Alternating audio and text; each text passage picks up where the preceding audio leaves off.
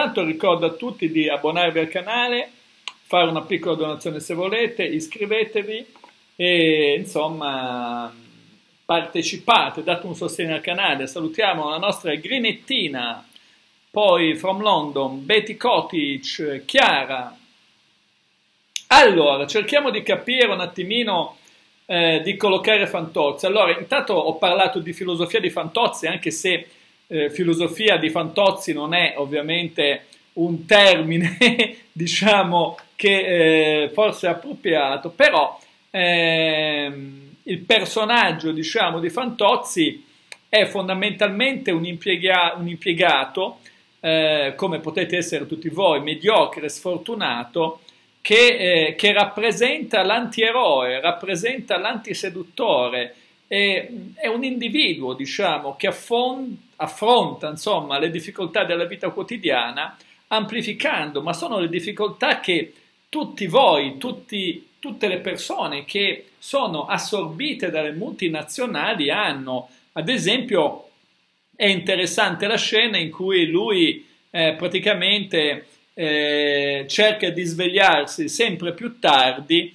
per impiegare meno tempo per, impiegare meno tempo per andare al lavoro. No? Dice, all'inizio si svegliava alle 6 per essere lì alle 8 e mezza, poi si sveglia che alle 7.51 e quindi fa tutte le cose in parallelo, eh, mangia mentre caga praticamente o qualcosa del genere, si pettina mentre è in bagno, so, fa tutte le cose, prende l'autobus buttandoci su, giù dal balcone, ma questa è una cosa che effettivamente fanno molti impiegati e molte persone, insomma, che sono abituate a questo tipo di routine.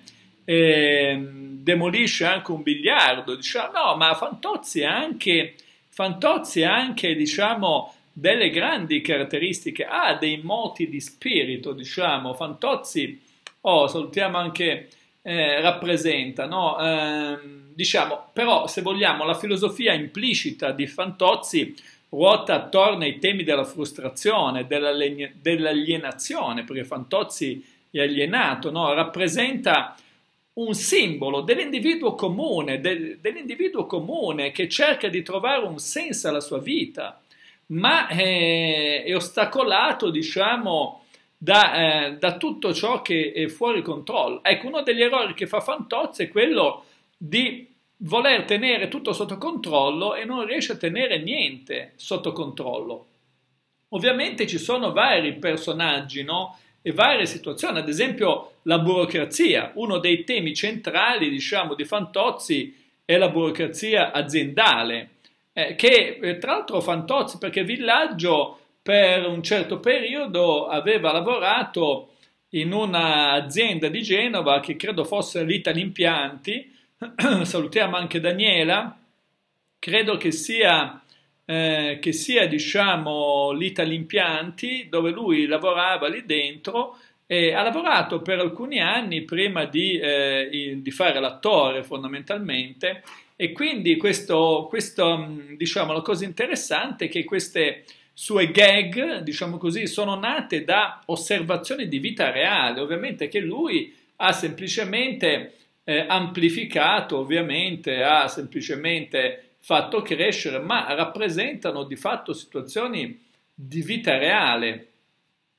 E quindi uno dei temi centrali è la, la sua lotta eh, improbabile contro la burocrazia aziendale, contro, eh, come dire, eh, anche il servilismo e anche la lottizzazione, no? se vogliamo, perché tutti questi mega direttori generali erano Conte, Duca, eh, Phil Put, Farabut, eh, che rappresenta anche un po' il concetto che negli anni 70, negli anni 80 le aziende italiane eh, sono state tutte lottizzate fondamentalmente, no? per cui eh, mettevano a capo delle aziende personaggi completamente improbabili, dai vari amministratori delegati, eccetera, eccetera, che le spolpavano fondamentalmente, no? le vendevano magari a, a prezzo, salutiamo anche Pippoli, benvenuto in live, ma pensate, non so, io ricordo quando fu venduta l'Alfa Romeo, ad esempio,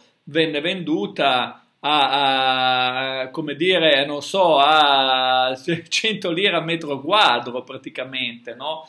Quindi ci sono tutte queste, eh, queste situazioni. Beh, poi certo Fracchi è un altro, è un altro personaggio eh, che ha avuto meno successo di Fantozzi. Poi un'altra cosa fondamentale è la sfortuna e anche la disillusione, no? Perché Fantozzi è l'icona dell'antieroe, dell'antiseduttore, è, è, un, è un individuo che sembra destinato a essere a scontrarsi con l'universo, no? A incontrare sfortune e fallimenti in ogni aspetto della sua vita. E questo tema, diciamo, eh, riguarda un po' la disillusione di Fantozzi verso le sue speranze, le aspettative non realizzate, perché se vogliamo Fantozzi eh, che cosa fa? ha fatto tutto quello che fanno molte persone, si è trovato una moglie, eh, ma potrebbe essere per un marito, una moglie che non ama, che probabilmente la moglie la pina da un certo punto di vista ama Fantozzi, ma Fantozzi è la moglie, eh, come dire, la moglie a maglia, no? che uno gli darebbe un destro un sinistro, perché eh, la Pina è, un, è, una donna praticamente, probabilmente anche una sua saggezza, la Pina, ma è una donna totalmente insipida, una donna senza personalità, una donna... Ehm, salutiamo Arianna, è una scimmia volante sì, perché Fantozzi ha anche tra l'altro un certo narcisismo, eh? c'è anche un certo narcisismo di Fantozzi.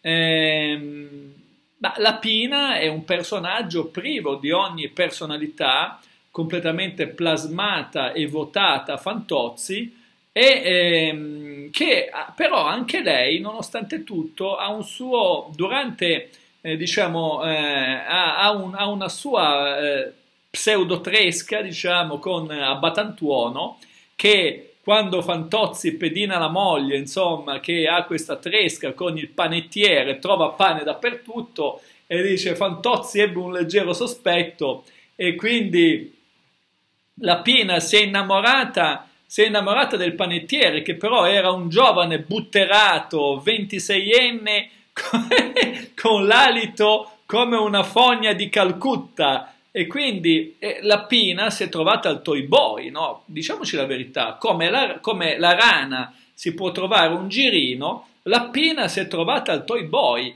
perché durante la fase di tradimento di Fantozzi si è trovata al Toy Boy, che era questo giovane, il figlio del il nipote del panettiere, questo giovane butterato 26enne, giovane butterato 26enne con l'alito simile a una fogna di Calcutta. E, e, la Pina, diciamo, che gli dava lo sfilatino, no? cioè vengono lo sfilatino, e quindi, e, e quindi anche la Pina ha avuto, ha avuto i suoi momenti, diciamo, ha avuto i suoi momenti, diciamo, di, di trasgressione, mentre è ancora interessante la cosa che è, è interessante ancora la cosa che Fantozzi si innamora della signorina Silvani, no? Ecco, questa è una cosa interessante. La signorina Silvani, che è il grande amore di Fantozzi, che lo sfrutta in tutti i modi. Poi la signorina Silvani si sposa a Calboni, che praticamente è il, eh, diciamo, il collega di Fantozzi che lo, eh, diciamo, che lo maltratta in ufficio, che gli fa un po' di mobbing, che lo percula in tutti i modi. E la signorina Silvani diventerà la moglie, la moglie di eh, la signora Silvani diventerà la moglie di Calboni e Calboni la cornificherà in tutti i modi. La cornificherà in tutti i modi. Fantozzi si propone in modi improbabili, diciamo, anche quando la signorina Silvani è sposata per fare un viaggio di nozze dove viene preso per il culo, insomma, in tutti i modi. È interessante che poi però tutti questi personaggi fanno una fine di merda, no? Quindi Fantozzi rappresenta anche l'alienazione e la monotonia della vita quotidiana, no? perché diciamoci la verità, eh, come molti di voi, Fantozzi vive una, una, vita grigia, una vita ripetitiva, insignificante, che spesso è costellata anche da piccole frustrazioni, no? da piccole umiliazioni. E, e, poi è interessante anche tutti i rapporti interpersonali no? che, ha, che ha Fantozzi perché è molto interessante guardare i rapporti interpersonali, perché Fantozzi ha, ha relazioni difficili con tutti, ha relazioni difficili con la moglie Pina, donna che non ama, eh, ha relazioni difficili con eh, la signorina Silvani che non, che non, lo prende in considerazione, ma anzi lui si pone come cavalier servente no, nei confronti della signorina Silvani che cerca di sfruttarli in tutti i modi, di percularli in tutti i modi e, e ha dei rapporti difficili con, con, i colleghi, soprattutto con Calboni che è quello che insomma eh, si propone un po' eh, diciamo in modo più trasgressivo nei confronti di, Falto, di Fantozzi e, e, e anche, anche, con altri colleghi, no? che sono altri personaggi, ma poi Fantozzi rappresenta anche i sogni però, perché è, come dire, eh, è pieno di, di, sogni frustrati, eh, di sogni infranti. I sogni di Fantozzi raramente o quasi mai si realizzano, no? E questo, questo tema è interessante perché rappresenta un po' la lotta tra eh, i sogni che le persone hanno e poi tra l'immagine ideale, se vogliamo, e l'immagine, e l'immagine ideale, no? l'immagine reale che è un'immagine di merda e l'immagine, l'immagine invece ideale dove Fantozzi ha questa cosa qua, no? Ma poi c'è anche, anche, una rappresentazione satirica delle tensioni di classe, se vogliamo, dei conflitti sociali, no? Perché le sue difficoltà derivano dalla sua posizione sociale, no? di ceto medio-basso, del suo status di impiegato subordinato, perché Fantozzi è l'ultima ruota eh, del carro, no? la nuvola che persegue Fantozzi, ma è la nuvola degli impiegati, no? perché Fantozzi rappresenta anche una classe sociale, la classe sociale degli sfigati, che oggi ha cambiato, diciamo, probabilmente bah, ha cambiato magari un po' di, di, connotazioni, però rappresenta il servilismo, diciamo, no? la ricerca della felicità da una parte, ma la frustrazione dall'altra. Gli episodi sono divertenti, ci sono dei personaggi, ovviamente Ugo Fantozzi è il protagonista indiscusso della serie, no? che è Paolo Villaggio, appunto, eh, questo impiegato mediocre, sfortunato, eh, con una moglie insipida, insignificante. E, poi appunto Pina Fantozzi è, è appunto è, è, la moglie che spesso è anche critica nei confronti di Fantozzi, però è, diciamo è tutto sommato sottomessa. No? Fantozzi sviluppa e scarica tutte le sue frustrazioni nei confronti della Pina eh, ma poi è anche interessante anche Mariangela Fantozzi, no? la figlia, questo cesso immondo, che però alla fine anche lei cercherà di sfruttare Fantozzi quando finalmente eh, si sposa con la scimmia, no? con Bongo, perché poi anche la figlia di Fantozzi si... Eh, Fantozzi è il cognome, Ugo Fantozzi, no, è un nome di fantasia, Piera, l'attore si chiama Paolo Villaggio, e quindi Fantozzi nel ruolo di nonno, diciamo, eh, eh, avrà una nipote più brutta della madre, l'attore è sempre lo stesso, ma la Mariangela e anche, eh, anche Uga, Uga Fantozzi, la nipote, Ughina, eh, tutte lo martelleranno fino in fondo, lo sfrutteranno, anche questo mostro della figlia, quindi Fantozzi fallisce sul piano, in tutte le aree della vita, diciamo, fallisce sul piano sentimentale affettivo, fallisce sul piano della realizzazione personale, fallisce sul piano familiare perché ha una moglie, eh, una figlia e una nipote che sono il peggio del peggio, salutiamo anche Letizia e, e quindi ha queste cose qua. Poi un'altra cosa interessante è altri personaggi, no? sono il, il, il ragionier Filini, no? il ragionier Filini che è Gigi Redder mi sembra, che eh, è un personaggio no, interessante perché eh, ha queste caratteristiche, non tanto è cieco come una talpa, è rintontito come è, rincoglionito, no? se andiamo a vedere è veramente, e però rappresenta eh, diciamo un, eh, l'organizzatore dell'azienda, no? quello che cerca comunque di condizionare Fantozzi, perché il ragionier Filini con tutte le sue, come dire, scelte improbabili, no? delle partite scapoli ammogliati, delle, diciamo, è anche lui è veramente, si è adattato, si è plasmato, diciamo, con, eh, con tutte le esigenze, se vogliamo, aziendali. È un personaggio interessante anche il personaggio di Filini, no? Eh, ma è anche altri personaggi che vengono fuori, no? come la contessa Serpello, Serbelloni Mazzante viene dal mare, no?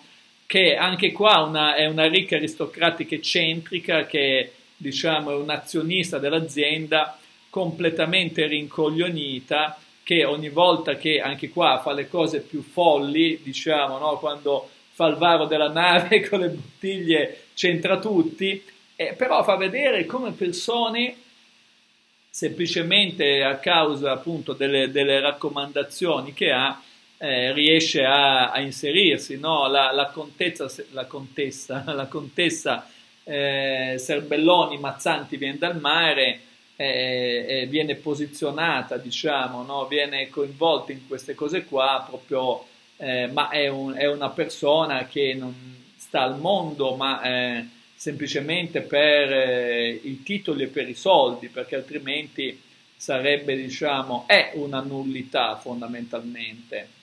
Eh, mentre invece i personaggi dei mega direttori sono personaggi interessanti. No? Il mega direttore generale eh, Philip Put Loop Man è una sorta di entità, no? non è neanche, perché poi cambiano, ci sono vari mega direttori ma diventa veramente una sorta di entità onnipotente, spaventosa, una sorta di demone, diciamo, che eh, nei, vari, nei, vari, film si avvicendano vari direttori, dal Cobram al, a quello che lo schiavizza sulla nave, no? cari inferiori, che comunque eh, queste entità, diciamo, spaventose che trattano i sottoposti con disprezzo fondamentalmente.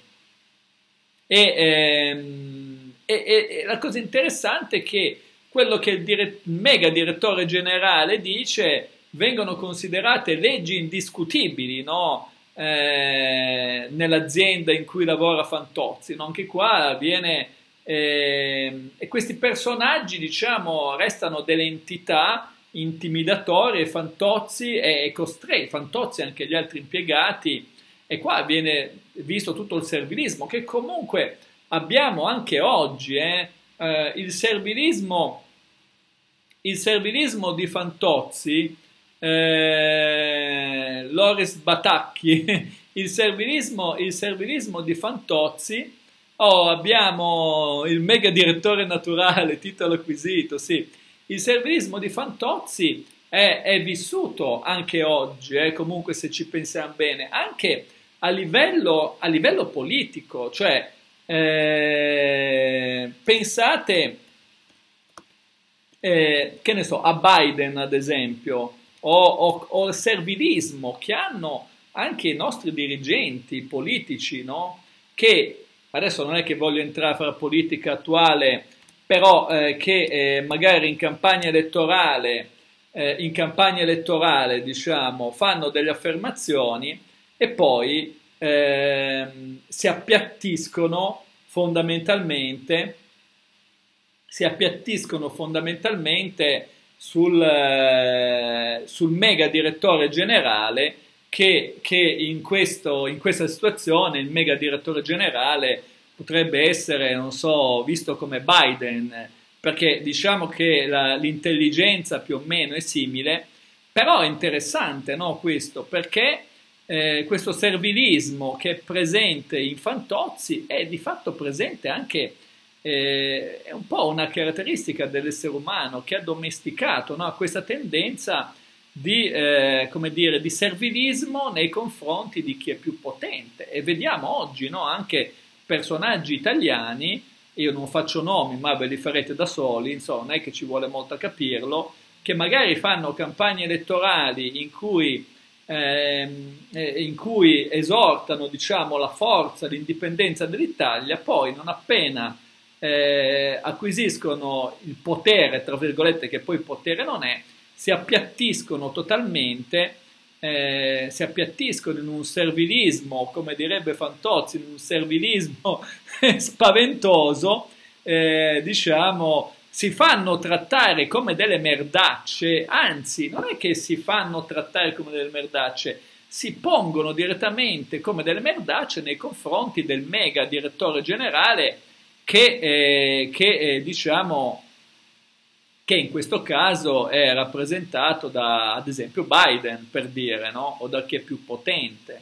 Questa è un'altra cosa interessante, eh? questo cambiamento è un'altra cosa interessante. Poi qualche, piccolo, qualche piccola ribellione c'è, no? ad esempio eh, nel discorso della, eh, della corazzata Cotionchi, no? quando ha un fervido, insomma, il più grande comico naturale è Razzi.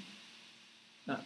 Eh, sì, però eh, il servilismo, diciamo, del cavaliere servente, che oggi si manifesta, si manifesta anche nei nostri rappresentanti politici, eh, diciamoci la verità, perché eh, io adesso non è che voglio entrare nella politica, però devo dire che io ricordo, eh, diciamo, eh, anni fa che alcuni politici italiani comunque avevano eh, quelle che viene chiamata la Prima Repubblica, no? la tanto bistrattata Prima Repubblica, però perlomeno c'erano dei, dei, personaggi politici che avevano delle caratteristiche, ma erano meno servili, a me sembravano meno servili, cioè ci, c'erano state anche delle reazioni, diciamo, di servilismo eh, meno marcato, perlomeno rispetto a quello, a quello che c'è oggi fondamentalmente nei confronti, diciamo, dell'America, che l'America ci, ci considera come, eh, diciamo, l'America ci considera veramente come se fossimo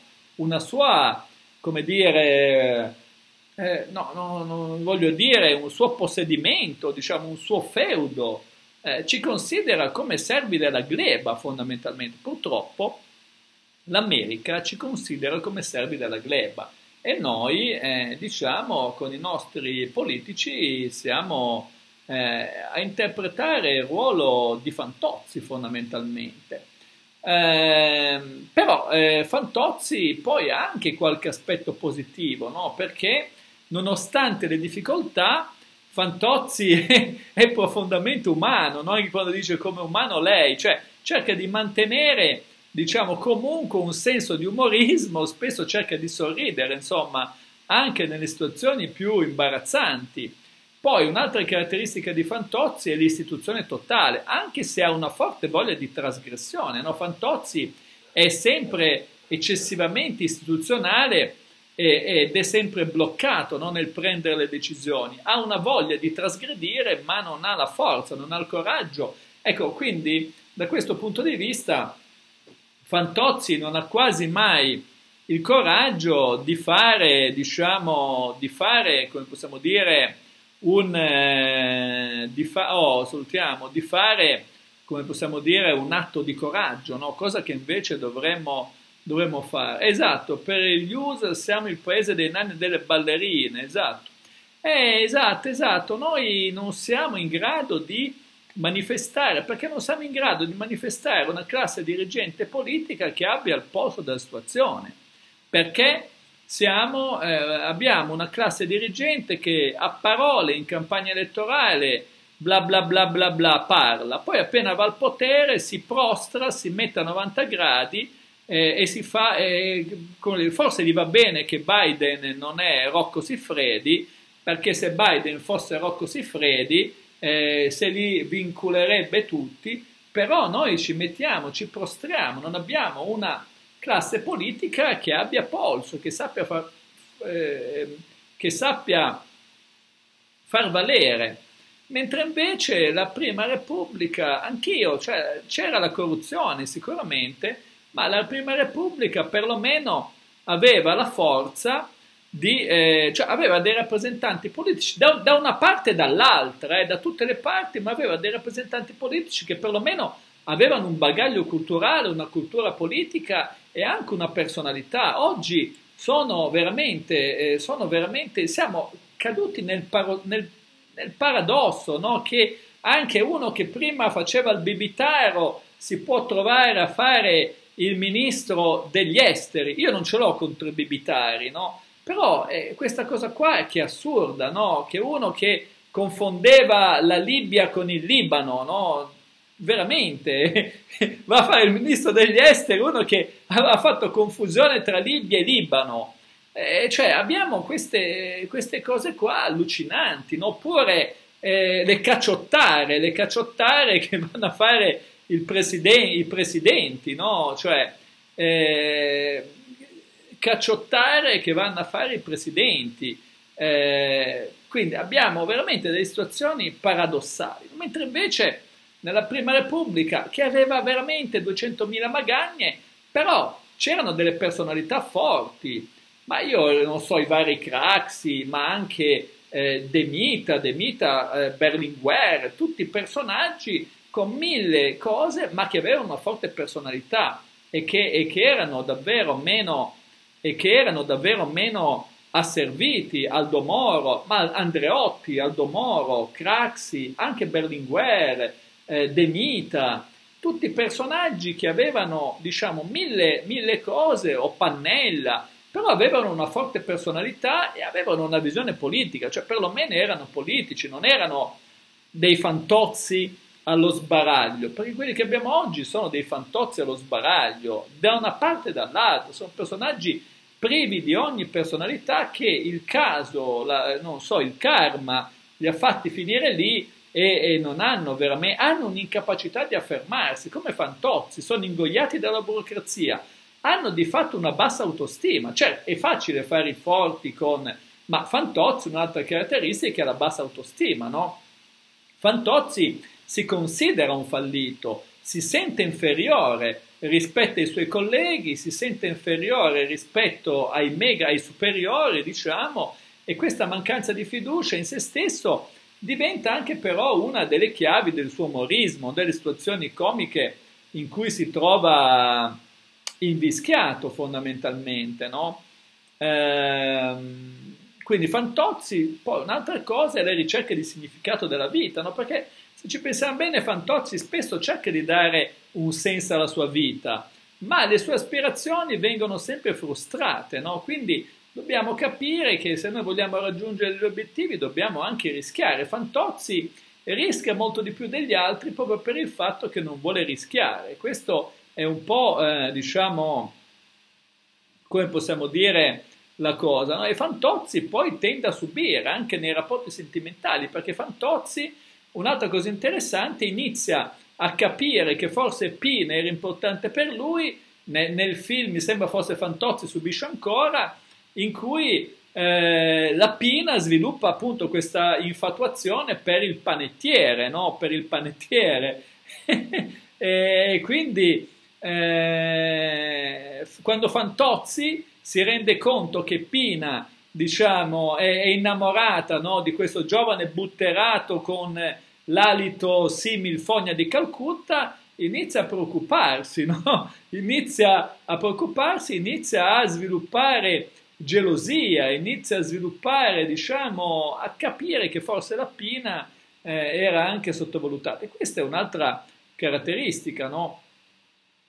Ehm, poi, ad esempio, eh, ci sono appunto eh, anche il ragionier Filini, no? una, un personaggio molto importante. Il ragionier Filini rappresenta la tappezzeria dell'ufficio praticamente, no? è una delle molteplici fonti di umorismo sicuramente all'interno della serie, però eh, diciamo è la persona che è praticamente totalmente insignificante, totalmente incapace cerca comunque di coinvolgere e coinvolge sempre Fantozzi in situazioni bizzarre eh, e tra l'altro è un'altra cosa interessante che potete osservare, salutiamo Lori, Sara Tarot, e Ninetta, un'altra cosa interessante eh, un'altra cosa interessante è che Fantozzi e Filini, nonostante probabilmente si conoscano da 150 anni, continuano a darsi del lei, no?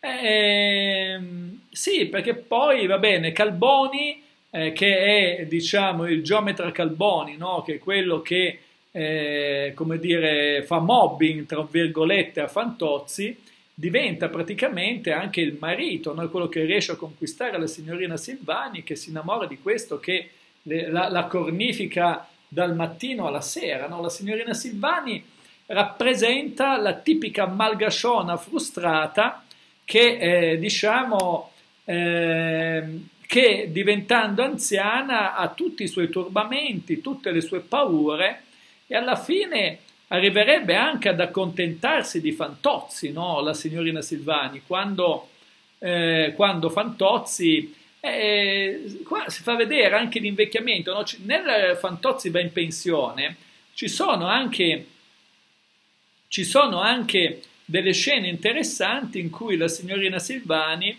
vedendosi vecchia sola, finge addirittura per... Ecco, una cosa interessante, cerca di ingannare Fantozzi dicendogli, dicendogli che è rimasta incinta di lui, cosa che sarebbe improponibile perché avrebbe, cioè, eh, avrà avuto almeno 150 anni la signorina Silvani per pagarsi, per pagarsi il, chirurgo, il chirurgo estetico per pagarsi il chirurgo estetico e farsi e rifarsi e cer- cercare di apparire più giovane, no? fondamentalmente. E quindi Fantozzi viene anche qua, cerca di truffare in tutti i modi Fantozzi. E la signorina Silvani, sì, ego, ego femmina, sì, è, è, una tipologia ego femmina la Silvani che cerca di, eh, cerca di essere fintamente, diciamo, cerca di essere fintamente seduttiva eh, stimolata ovviamente ad asta la signorina Silvani, perché la signorina Silvani poi si innamora del, del, diciamo, di quello più forte che è la mazzuola, che la distrugge. Eh, e questo alla fine è molto, molto interessante, no? Eh, ah, il dottor Birkemeyer, che è praticamente durante la Beh, la Silvani non so se la Silvani comunque ha una sua valenza narcisista, la Silvani. Però la Silvani è la donna tipica che va alla ricerca, diciamo, del maschio di potere perché si sente una frustrata, no? la, la Silvani. E teme molto l'invecchiamento. È molto interessante la scena del Fantozzi in pensione quando la Silvani si atteggia e poi eh, alla fine tira fuori tutte le sue frustrazioni dovute al fatto che è invecchiata e si è trovata, diciamo, eh, incapace di, eh, di sedurre, no? La signorina Silvani, diciamo, ricorda un attimino anche una canzone di De André, no? Quando dice è lei che fu la più contesa, la cortigiana che non si dà tutti, ed ora all'angolo di quella chiesa vende le immagini belli e brutti, perché eh, le donne fondamentalmente, questo lo dico veramente alle donne, che puntano tutto sulla bellezza fisica, ce ne sono, a parte che la Silvani era un cesso mostruoso, no? era Anna Mazzamauro, però era quella donna che da cessa, diciamo, da sciampista, si credeva chissà che e forse aveva nell'icona, no? Attirava in qualche modo però non ha saputo costruire altro fondamentalmente. Quindi quando questa pseudo bellezza è diventata vanescente, eh, eh, si è trovata, diciamo, come nella canzone di De André, la cortigiana che non si dà a tutti, si è trovata all'angolo di una chiesa perché nessuno la prende più in considerazione. E d'altra parte le donne che non sanno costruirsi nulla, da un punto di vista anche di stabilità economica, finanziaria, che puntano eh, fin tanto che hanno una pseudo bellezza data dalla gioventù, eh, invecchiando si trovano completamente disorientate, no? si trovano direttamente disorientate perché è evidente che la bellezza passa. Se non riesci a costruire qualcos'altro, se non riesci a costruirti qualcos'altro, eh, diventi praticamente eh, una nullità fondamentalmente. La moglie va da ehm, Barnabuccio all'ufficio Telecom, ah, per le telefonate erotiche, sì, sì, perché poi, vabbè, questa è un'altra scena patetica in cui Fantozzi eh, viene, diciamo, la moglie di Fantozzi deve fare i soldi per mantenere Fantozzi che continua a lavorare, è interessante. Eh, comunque vedo persone che fanno domande, ma le domande eh, rispondo alle domande soltanto alle persone che fanno donazioni o che fanno o che fanno, diciamo, o che sono abbonate al canale, altrimenti non rispondo alle domande. Eh, ecco, quindi queste sono un po' le caratteristiche no, de, del film, secondo me, della filosofia di Fantozzi, che però dà degli insegnamenti, eh, dà degli insegnamenti fondamentalmente.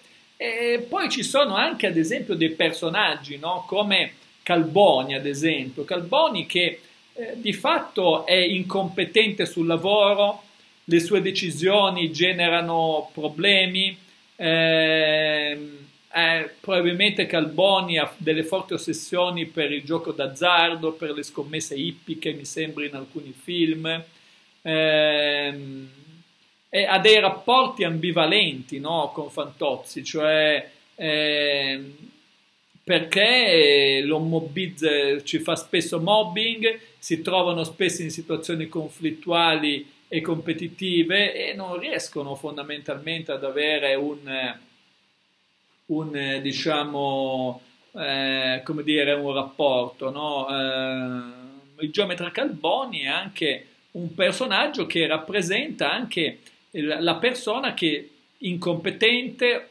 ossessionato per il gioco d'azzardo, eh, con la tendenza a, a, creare problemi, insomma, quindi eh, che però riesce a manifestarsi e riesce ad esempio a sedurre la signorina Silvani. Questo rappresenta anche il fatto di come Calboni è anche un grande puttaniere che porta, che porta Fantozzi, ad esempio, è anche interessante la scena, che porta, che porta diciamo, eh, Fantozzi, cerca di portare Fantozzi a puttane in un night improbabile, dove anche lì in questo night ci sono delle vecchiarde eh, diciamo totalmente mostruose eh, che però Fantozzi diciamo in qualche modo si, si coinvolge anche con queste no?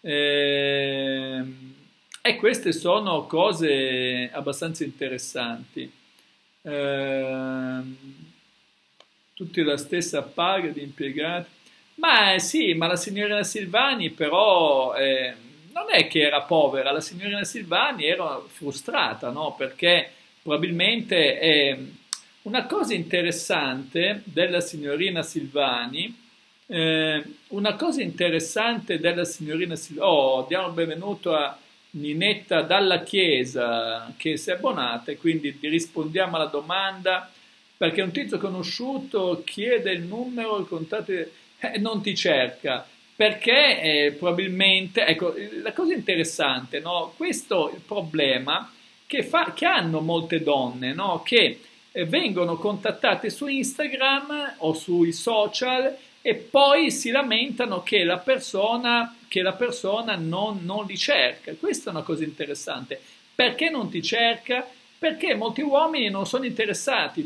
Allora dovete tenere presente che nei social, e oggi Fantozzi nei social sarebbe anche una cosa interessante.